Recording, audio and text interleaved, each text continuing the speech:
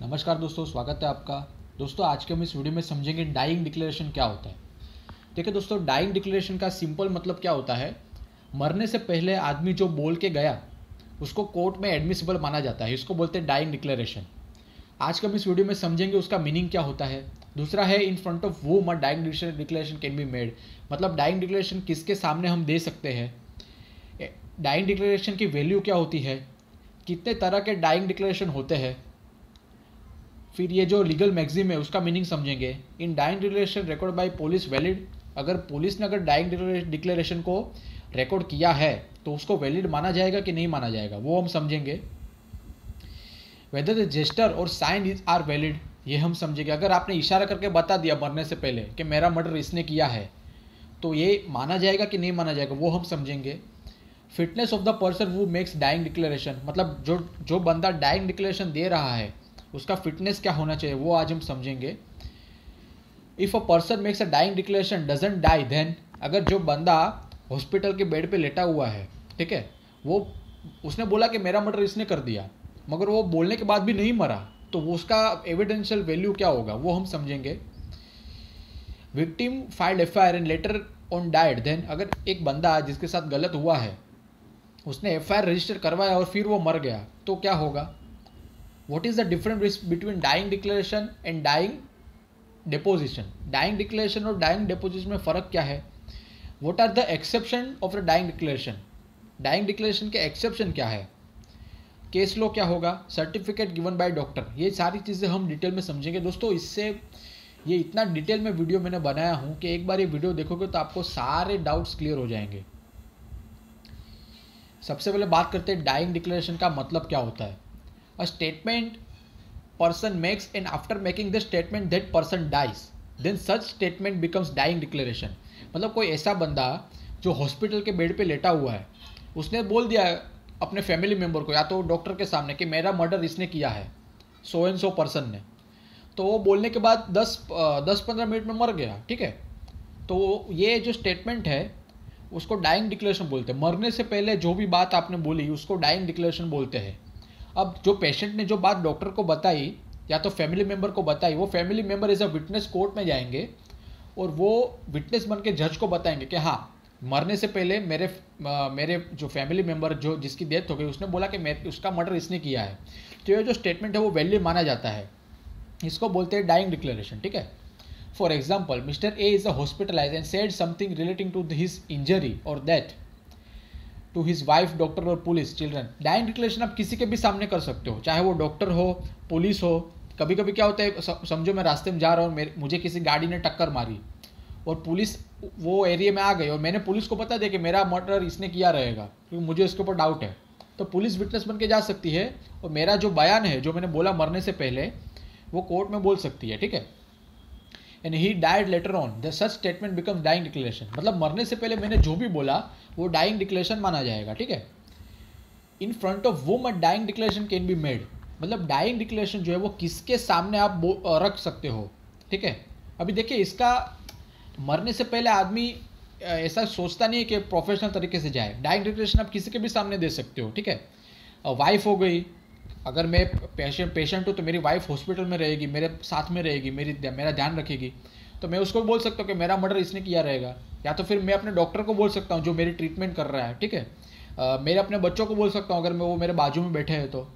Public कोई भी अपने आजू बाजू में दूसरे भी पेशेंट रहेंगे, या तो उनके भी डॉक्टर रहेंगे, उनको भी बोल सकता हूँ मैं। पुलिस को भी बोल सकता हूँ, अगर पुलिस हॉस्पिटल में आई मुझे देखने के लिए कि आपका ये हालत किसने किया। तो मैं पुलिस को भी बता सकता हूँ और नेबर्स अगर समझो मेरे घर पे मैं मर गया तो मरने से पहले मैं अपने नेबर को भी बता सकता हूँ, मेरा खून जो है वो इसने किया है, ठीक है? तो वो लोग कोर्ट में जाएँगे और मेरा जो स्टेटमेंट है वो बोलेंगे। तो मेरा जो स्टेटमेंट है, जो डाइंग डिक्लेरेशन है, वो एक्सेप्ट हो जाएगा कोर्ट में। For example mister P admitted in in a hospital and whose family was there and mister P said that mister Q killed him so here it becomes dying declaration ठीक है? Evidential value of dying declaration अगर मैं अगर मैं मरने से पहले कोई भी चीज़ बोलता हूँ तो उसकी एविडेंस की जो वैल्यू है वो क्या होती है? Generally it is a rule that any statement made by a person should be examine cross examine and if necessary it should also re examine then only it will be consider as valid in the court generally ऐसा rule है कि अगर आप कोई चीज़ बोलते हो as a witness तो वो सबसे पहले तो एग्जामिनेशन चीफ करना पड़ता है। एग्जामिनेशन चीफ मतलब क्या? आपका वकील आपको सवाल पूछेगा और आप पूरी स्टोरी जज के सामने बताओगे। दूसरा है, उसका क्रॉस एग्जामिनेशन होगा। सामने वाली पार्टी का वकील आपको सवाल पूछेगा और उस सवाल पे आपको यस और नो में आंसर देना है। इसको बोलते हैं क्रॉस एग्जामिनेशन तीसरा है री एग्जामिनेशन जो हर टाइम नहीं होता। अगर जज को लगता है कि कोई नया फैक्ट बाहर आया है तो उसको री एग्जामिनेशन बोलते हैं।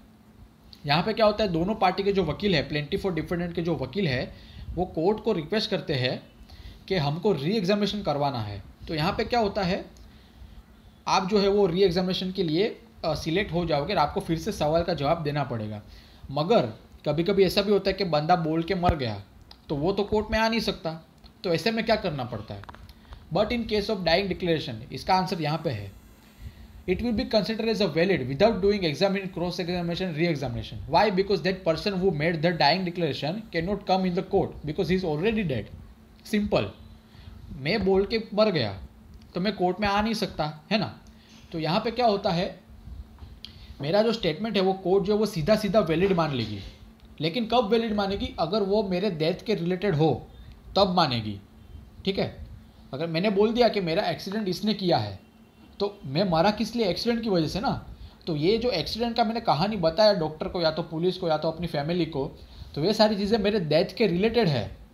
डेथ का जो सर्कमस्टेंसेस होता है ना, उसके रिलेटेड है। तब जाके वो रिलेवेंट माना जाएगा अदरवाइज़ रिलेवेंट नहीं माना जाएगा। ये बात आप ध्यान में रखिए।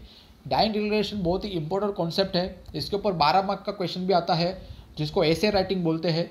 और शॉर्ट नोट भी आते हैं और कभी कभी सिचुएशनल क्वेश्चन भी पूछ लेते हैं। यहाँ तक कि जो वन लाइनर क्वेश्चन होते हैं वो भी पूछे जाते हैं। तो ये आप ध्यान में रखिए दोस्तों। Types of the statement which are consider as a dying declaration देखो दोस्तों दो तरह के स्टेटमेंट होते हैं जिसको डाइंग डिक्लेरेशन माना जाता है। A statement given by a person relating to his cause of death मतलब ऐसा स्टेटमेंट आपने दिया जो बताता है कि आपकी डेथ कैसे हुई। उसका आप, आपकी डेथ का रीज़न क्या है? जैसे मैंने बताया कि मुझे किसी गाड़ी ने टक्कर मारी।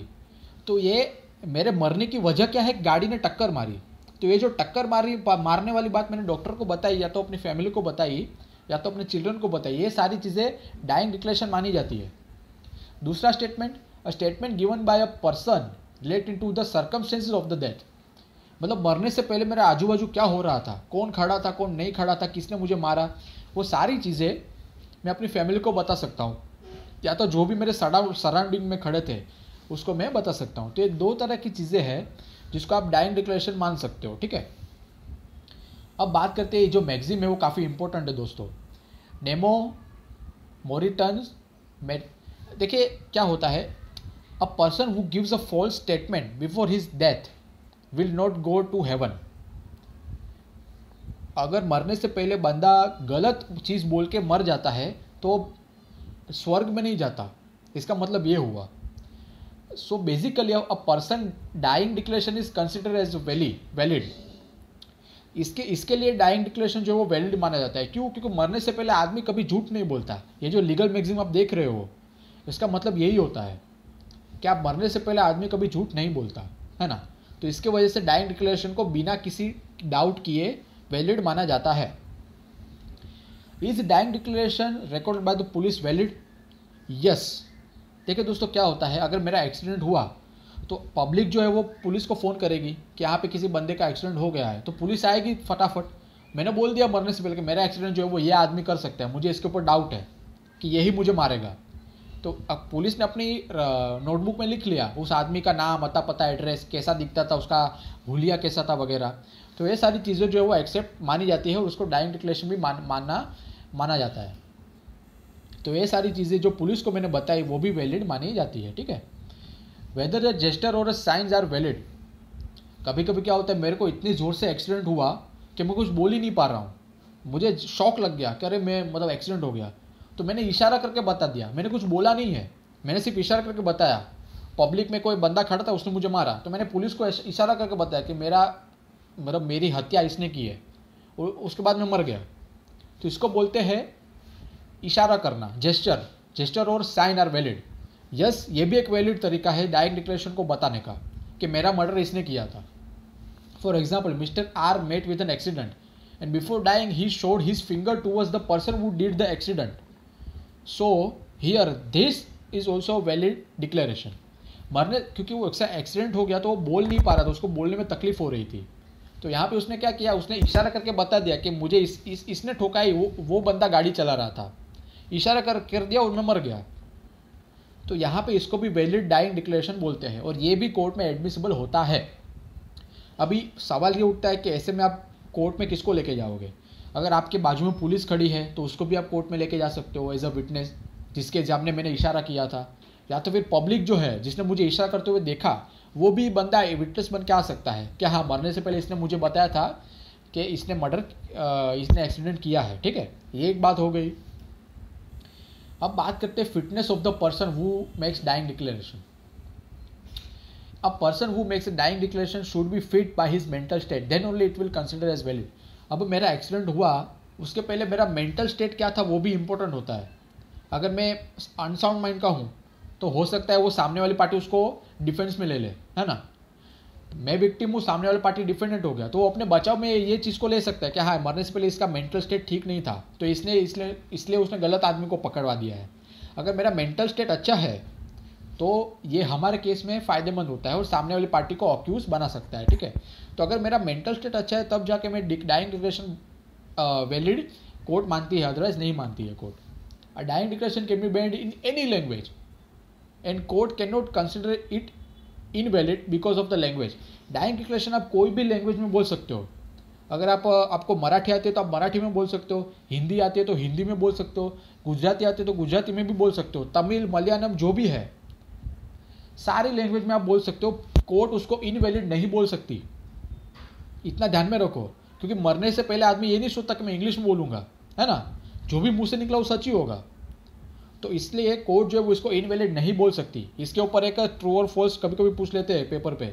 यहाँ तक कि वन लाइनर का आंसर भी पूछते हैं कि अगर ऐसा होता है तो क्या वैलिड माना जाएगा? तो आपको लिखना yes it is a valid है ना? तो मरने से पहले आदमी झूठ नहीं बोलता, ये कोर्ट मानती है। दूसरा, कोई भी लैंग्वेज में आप डाइंग डिक्लेरेशन दे सकते हैं। ठीक है? तो कोर्ट उसको डिनाई नहीं कर सकती, इतना ध्यान में रखिए आप।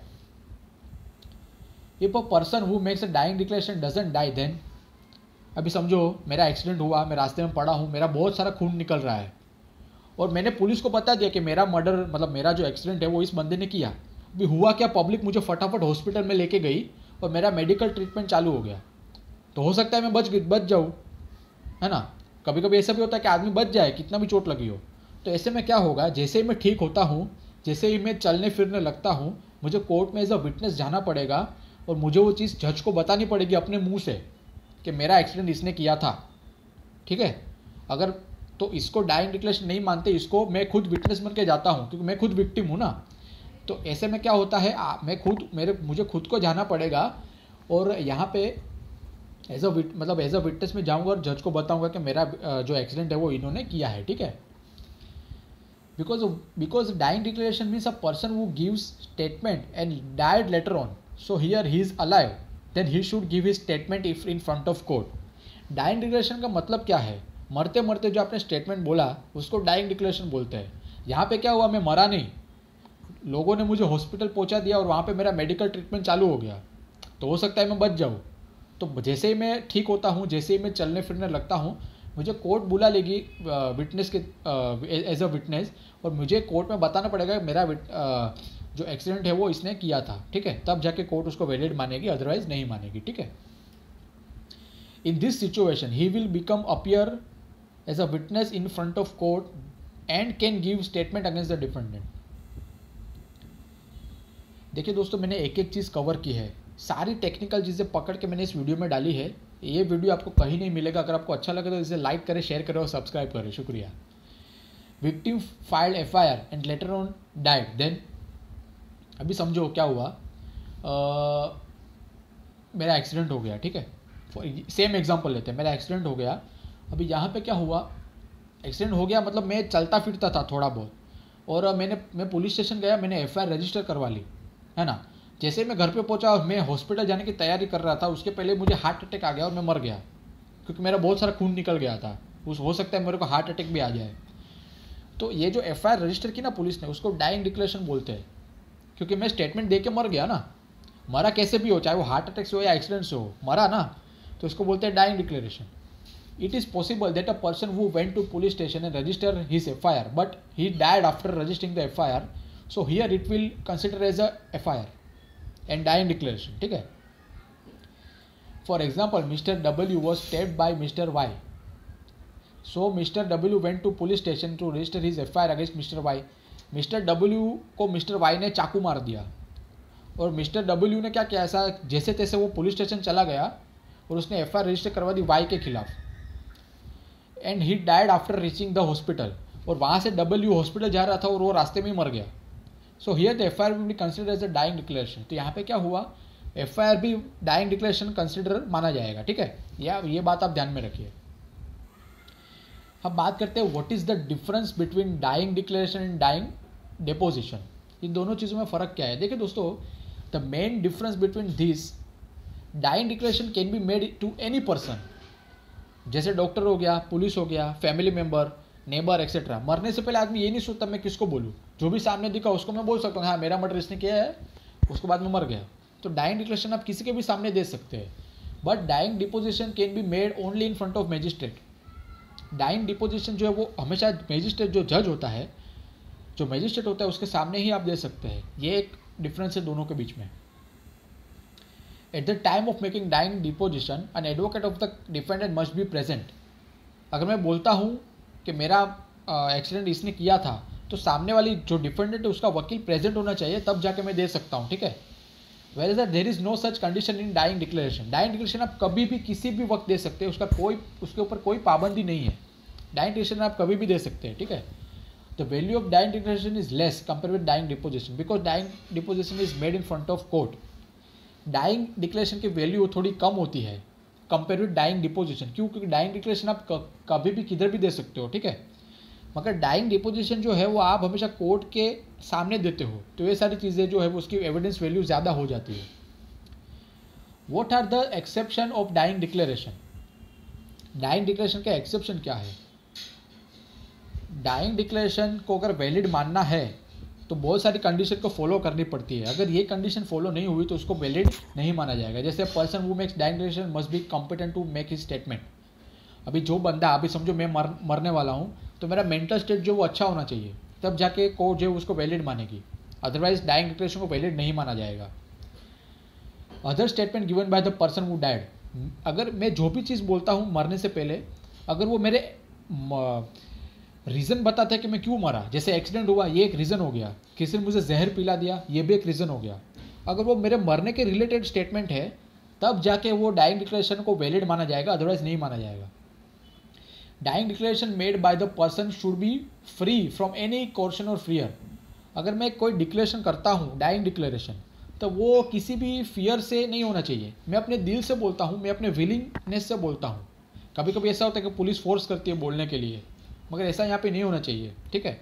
अगर मैं अपनी इच्छा से बोलता हूँ कि मेरा मर्डर इसने किया, तब जाके ही वो वैलिड माना जाएगा, ठीक है? अब एक केसलो है, Krishna Lal versus in this case court said that dying relation must be free from the outside pressure and coercion should be made by will of the deceased dying declaration dying declaration जो है, वो एकदम free होना चाहिए। कोई भी तरह का प्रेशर नहीं होना चाहिए डाइंग डिक्लेरेशन करने के टाइम पे, ठीक है? तब जाके इसको वैलिड माना जाता है। सर्टिफिकेट गिवन बाय डॉक्टर अब इसको, इसका मतलब क्या होता है? इसको ध्यान से समझिए। सर्टिफिकेट मतलब क्या? देखिए कभी आपने व्हील बनाया है तो आपने देखा होगा कि जो बंदा व्हील बनाता है जो अपनी प्रॉपर्टी अपने बच्चों के नाम पे करेगा मरने के बाद, उसके नाम पे एक मेंटल सर्टिफिकेट बनता है कि इसका माइंड मेंटल स्टेट कैसा है। If a person who dies after making dying declaration in front of the doctor and he also has a fitness certificate then in such case that value of the statement of the deceased person will increase मरने से पहले मैं जो भी बोला, और उसके साथ में अपना सर्टिफिकेट मेंटल स्टेट का जो सर्टिफिकेट है, वो बता देता हूँ कि मेरा माइंड जो वो अच्छा था जब मैं मरा। तो मेरा डाइंग डिक्लेरेशन का जो वैल्यू है, वो अपने आप बढ़ जाएगा। देखिए दोस्तों, अगर आपको वीडियो अच्छा लगे तो प्लीज़ इसे लाइक करें शेयर करें सब्सक्राइब करें। शुक्रिया।